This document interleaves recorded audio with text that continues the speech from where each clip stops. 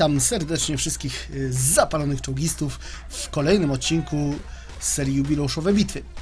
W tym odcinku mój stary znajomy Lanied zagra ze mną swoją 20-tysięczną bitwę w grze World of Tanks. Witam cię serdecznie, Laniedzie. Witam, witam wszystkich. Nie wiem, czy dobrze odmieniłem. Lanied, Laniedzie? Nie, chyba źle. Czy... Wydaje mi się, że tak. To też tyl tylko nick, więc. No właśnie, tylko nick. Y, to jest moje takie tendencyjne, tradycyjne pytanie, czyli przypomnij widzom, y, bo na pewno już nieraz kiedyś, dawno temu, jak y, współpracowaliśmy w odcinkach historycznych, może mówiłeś o tym, ale co to oznacza ten lanied? Lanied to jest zasadniczo taki już trochę stary nick, który sobie wymyśliłem na potrzeby, na jakiej gry. W każdym razie jest to Y, taki nie, niepełny anagram mojego imienia, tak? Że jak mhm. sobie ktoś przedstawi, to będzie się domyślił, o jakie imię już chodzi. Tak? Tylko mówię niepełny, bo tam po prostu stawiałem literki, żeby to brzmiało troszeczkę ładniej. Mogę zgadnąć, że to Daniel? Dokładnie. Jest! Okej. Okay. Słuchaj, w zasadzie grasz y, od 20, y, 2011 roku, ale ostatnio trochę cię mm, zaraził, zaraziła inna gra, czyli e, World of e, Warships, również świetna gierka, ale wróciłeś do WOTA. Z jakich powodów? Znaczy dwa takie powody, które przede wszystkim dwa powody, dla których zrezygnowałem jakiś czas, to to, że raz faktycznie były okręty o ile czołgi lubię, to trochę się człowiek mógł z nimi zdążyć znudzić przez te wszystkie lata, a okręty są czymś podobnym, ale też bardzo świeżym jednocześnie. I jeśli w tym momencie nie, nie, nie, nie chciałbym skłamać, ale wydaje mi się nawet lepszy od czołgu, mimo tak młodego wieku gry jeszcze. Natomiast też druga sprawa była taka, że o ile gra się, było to tak się rozwijało graficznie na przykład, no to sprzęt leżał tak, przez te wszystkie lata i dopiero teraz po dwóch latach właściwie oczekiwania dobrałem się wreszcie, że tak powiem, finansowo i mam nowy komputer, więc mogę sobie pozwolić po prostu na hulanie w tej chwili World of Tanks znowu na takim poziomie, jaki bym y, sobie tego życzył. Mhm. Takie dwa powody podstawowe. Natomiast bardzo się cieszę teraz, że mogę wreszcie właśnie wrócić i grać sobie swobodnie World of Tanks. Zwłaszcza, że z tego co widzę, gra się rozwija ilościowo wszerzy, tak powiem, przez czołgi no i też jednak coś zaczyna się dziać z tym matchmakingiem. Przynajmniej piaskownica coś tam pokazuje, że coś zaczyna się przemyśliwać, jakieś zmiany, co mi się bardzo podoba. Zapewne wielu y, moich widzów pamięcia, pamięta Cię z serii historycznych na moim kanale, czyli mm, no, interesujesz się bardzo historią. To mam do Ciebie takie pytanie jeszcze przed tą jubileuszową bitwą. Jak to w tym wocie jest y, teraz te szwedzkie TDki y, z tym X-em? Y, w ogóle tyle tych czołgów mamy. Jak to się ma do prawdziwej historii czołgów? Czy ta gra World of Tanks jest stworzona raczej tylko, żeby sobie pograć, czy ma jednak sporo sprawdy o czołgach? Znaczy tak, trzeba to podzielić na dwie podstawowe kwestie, tak? E, jeśli chodzi o sprzęt pancerny, który się pojawia w grze, to tutaj muszę z czystą, z czystą sumieniem stwierdzić, że wiele maszyn, dopiero się dowiedziałem w wocie o ich istnieniu i tutaj kawał dobrej roboty jest zrobiony, jeśli chodzi o wargaming, że wygrzebuje różne prototypy, projekty czołgów. Fakt faktem, że obecnie skrubiemy już dno beczki a nawet y, już zaczyna się jakieś wymyślanie jakichś dziwnych, jakichś dziwnych zupełnie rzeczy, przynajmniej w przypadku tych starych drzewek radzieckich na przykład, czy niemieckich. Natomiast, y, tak jak wspominałeś o drzewku szwedzkim, które jest y, świetnie, pokazuje to, że można w innych nacjach szukać naprawdę ciekawych rzeczy. Zwłaszcza, że Szwedzi masę rzeczy opracowywali, publikowali bo wiadomo, Szwedzi nie walczyli w wojnach, więc się nie zna tych czołgów. Natomiast, no, tak powiem, y, ten naród już tak powiem, ma dosyć duże tradycje w produkcji broni. W tym, że także i czołgów. No to to jest ta kwestia, którą ja bardzo pozytywnie oceniam raczej. Natomiast yy, no, niestety negatywnie muszę, yy, muszę stwierdzić, że negatywna to jest ta opinia na temat oddania realizmu pola walki związanej z czołgami. No tutaj to tak naprawdę to jest już mocno dostosowane do tego, że to jest jakaś gra, tak? Bardzo umowne jest to walka czołgami. Przede wszystkim, choćby tak podstawowa rzecz i każda osoba, która ma jakiekolwiek pojęcie o broni pancernej ci powie, że czołgi nigdy nie walczyły na tak wysokich dystansach, jak to jest pokazane w grze, tak?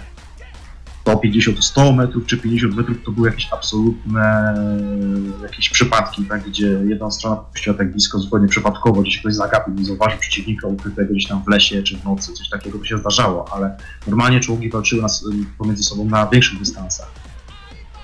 Znaczy, można sobie coś takiego wyobrazić, że najbliżej tych walk to są takie, takie długodystansowe walki, to byłoby na przykład w Łocie, gdzie mamy dwa, na przykład TDK, który strzela do ciebie z drugiego krańca mapy. To jest bliższe prawdy niż na Mhm. przykład jakieś walki w zwarciu z cyklu jeden czołg krąży koło drugiego. Czegoś takiego tak naprawdę nie było. Tak jest. Dobra, zerkam na infografikę. Mm, Najwięcej grasz y, czołgami, najwięcej bitew masz czołgami y, średnimi, y, czołgami niemieckimi. y, Czyli może powiedz jeszcze, jakie są Twoje ulubione pojazdy w garażu. O kurczę, powiem tak. E, ogólnie jako historyk mam takie spaczenie, że kolekcjonuję maszyny, które dla mnie są ważne historycznie.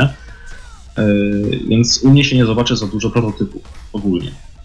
Czy takich już bożych rzeczy, które były narysowane, gdzieś tam naszkicowane. To takie u mnie prawie maszyny nie występują, natomiast zbieram dużo właśnie maszyn historycznych. Dlatego też właśnie mam tak dużo Niemców. Bo co jak co, ale to drzewko niemieckie przynajmniej do tego tiru gdzieś tam ósmego, większość to było maszyn wyprodukowanych tam Panzer 3, Panzer 4 w różnych wersjach, tak, Panzer 2. E, swoją drogą, jedna, moja pierwsza na stałe maszyna, którą mam od samego początku, właściwie jak tylko ją zdobyłem do dzisiaj, to jest w ogóle Hetzer. To jest maszyna, którą mam od samego, samego początku, to jest, nie wiem, po miesiącu jak miałem, po miesiącu, półtorej miesiąca jak zacząłem grę, to zdobyłem ten czołg i jego nigdy nie sprzedawałem, go mam od, od tego momentu. E, natomiast osobiście jakoś najbardziej mi ciągnie do, o czym do medów, to bym nie powiedział jakoś konkretnie jako do medów, bo w medach jest dużo też czołgów różnych, bo mamy med, medem jest na przykład Matylda, tak, e, ta z czwartego tiru, ciężka, pancerna, a z drugiej strony medem jest na przykład T-64-85, a który jest takim typowym medem, a na 10 tirze mamy Leoparda 1, który jest tak zwanym czołgiem e, podstawowym, tak, tym powojennym. To są zupełnie inne maszyny, więc to też taki dobór jest troszeczkę, yy, że tutaj w, ty, w, czołg, w czołgach średniej grze mamy wrzuconych najwięcej, że tak powiem, różnorodnych maszyn, no, w ten sposób. Bo czołgi ciężkie to raczej najczęściej to jest po prostu czołg ciężki i koniec. Mhm. Czy czołg lekki tak samo. Tak tylko strzelę na przykład Super Persa, y, który w zasadzie jest bardziej czołgiem ciężkim y, niż medem. Tak się nim przynajmniej gra w wocie. A w, jeżeli chodzi o jubileusz, y, zaproponowałeś właśnie Matyldę, czwartotierowy y, czołg y, średni brytyjski, y, który jest uważany za takim OP tankiem.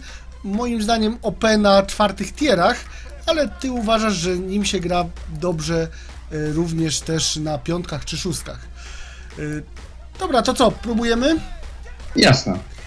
No zobaczymy. Ja bym wolał, żeby nas wrzuciło na czwórki, ale zobaczymy. Y, Jak będą szóstki, no to cóż, czwórki. Czwórki, ale też i szóstki. Rzuciło nas... A szóstki! Aha! Szóstki, tak, bo 4 i 6 rzymskie jest podobne, tylko wystarczy, że przeniesie się jedynkę. Dobra, y, są szóstki, czyli źle. E, Powiedziałbym, że nie jest tak źle, bo głównym problemem byłoby to, gdybyśmy mieli dużo czołgów ciężkich e, szóstego tiru, a mamy większość to są jednak medy, więc będziemy mogli je jednak przebić. Od przodu nawet, więc Mhm. nie powinien być problem z przebijaniem. Czyli fajne działko 127 penetracji. Mm, Myślę, że wystarcza. No i ta szybkoszczelność, zaraz Wam pokażę y, na moim przykładzie. Y, Czyli 1,73. A, No. Dobra. Tam wszyscy pojechali, no. Cóż. Tam nikt nie pojechał, no ale. To zasadniczo Maty- Matyldą to za- jedna rzecz jest ważna, żeby nigdy nie wystawiać się na otwartym terenie, bo bardzo szybko, bardzo łatwo ją objechać, więc najpierw jakąś kotlinę wyjechać coś i po prostu zastawić się na przeciwnika, tak żeby bał się na ciebie wyjechać, albo żeby w ogóle yy, nie był w stanie cię, na ciebie uderzyć. Mhm. O tam biedny T-34 samotnie ruszył y, do walki, no ale no cóż.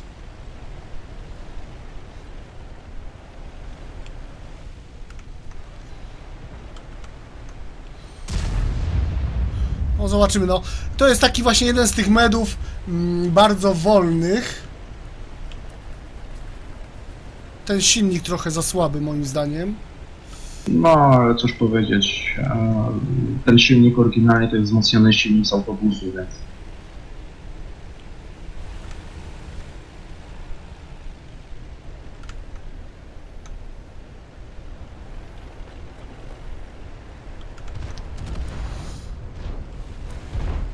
Mhm. Uważaj, Matylda strzela.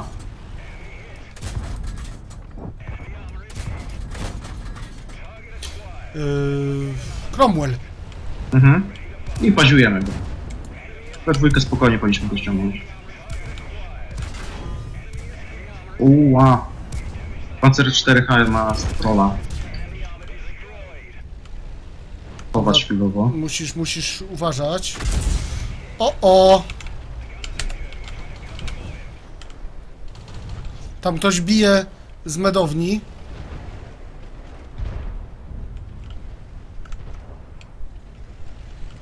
Dobra, Trzeba będzie grzecznie poczekać, aż oni się trochę teraz. No zdecydowanie ty jesteś na pierdnięcie. No właśnie ten, ten y, Panzer 4H też mnie uderzył. Czyli przeładowuję teraz. Znaczy nie teraz, prze, y, uderzył mnie y, już jakiś czas temu. A, dobra.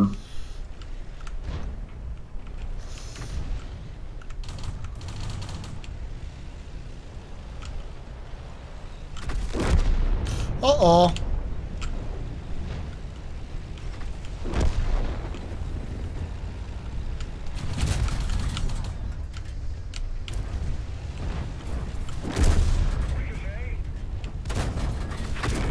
Kurczę. Ładnie mnie trafił. Aha, czyli no niestety padłeś.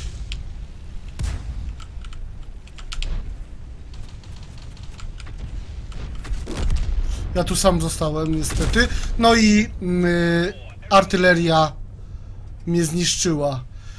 No niestety, niestety.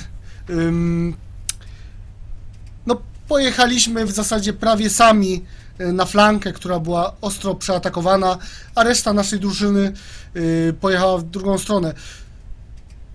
No trudno się mówi. Remis. Ym, no to zobaczymy. Jest co, nie pamiętam kiedy ostatnio mi się remis trafił. No, jest remis. Yy, no i. No i niestety nie poszło nam yy, najwspanialej. No ale tak wyszło, no. Ale przynajmniej remis. Tyle, yy, tyle dobrego z tej bitwy. Yy,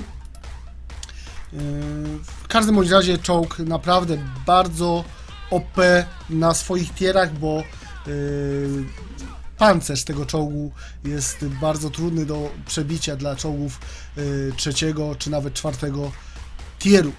Y, dobra, no to podsumowując, y, 20-tysięczna bitwa rozegrana. Czyli co?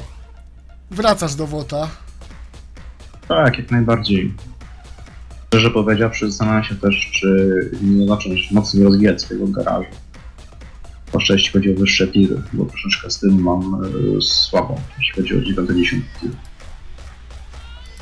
Na pewno będę więcej grać częściej niż, niż to miało miejsce na przykład w ostatnim roku.